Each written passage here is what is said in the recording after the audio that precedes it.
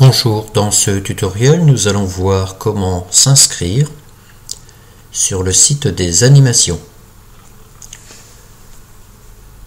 Pour s'identifier, vous utilisez le code suivant, prénom, point, suivi du nom. Attention, vous ne devez pas mettre de caractère accentué, pas de cédille non plus, et si votre nom possède un tiret, vous devez le mettre. Si vous avez un nom comme par exemple le Guenec, vous devez mettre le Guenec. Je valide. À la première connexion, vous devez vérifier vos paramètres personnels. Donc est-ce que votre nom prénom correspond bien? Est-ce que l'adresse mail correspond? Ensuite, vous devez choisir le niveau sur lequel vous enseignez.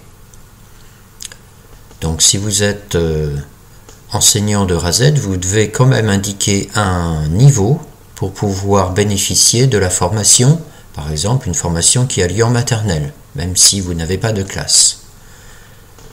Deuxième cas possible, si vous enseignez sur plusieurs niveaux, parce que vous avez par exemple quatre cartons, le lundi, mardi par exemple en PSMS, et puis le jeudi, vendredi en CM1, CM2, si vous cochez tous les niveaux sur lesquels vous enseignez, vous allez vous retrouver avec trop d'heures. Donc vous devez choisir un niveau sur lequel vous souhaitez être formé. Une fois que vous avez choisi, vous cliquez sur Enregistrer. Vous avez également la possibilité de modifier votre code d'accès. Notez le nouveau code qui vous sera donné. Si vous constatez une erreur, vous cliquez sur Signaler une erreur.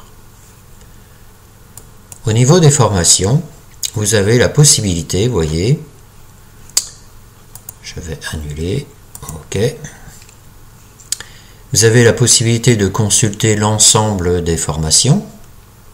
Attention, quand vous êtes inéligible, ça veut dire que cette formation ne correspond pas à votre niveau de classe. Exemple, vous voyez, si je clique sur cette animation, c'est une animation ici destinée aux au niveau GS. Comme je suis en CM1, CM2, je ne peux pas m'inscrire. Vous remarquerez que quand on clique sur la ligne bleue,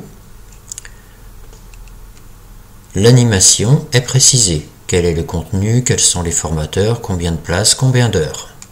Si vous êtes intéressé par cette formation, vous cliquez sur Je m'inscris. On ferme la petite fenêtre.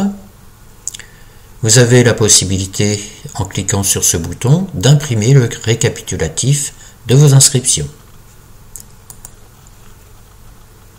Donc ici, j'aurai mon nom, prénom, et ici la liste des formations auxquelles je suis inscrit. A bientôt pour un autre tuto.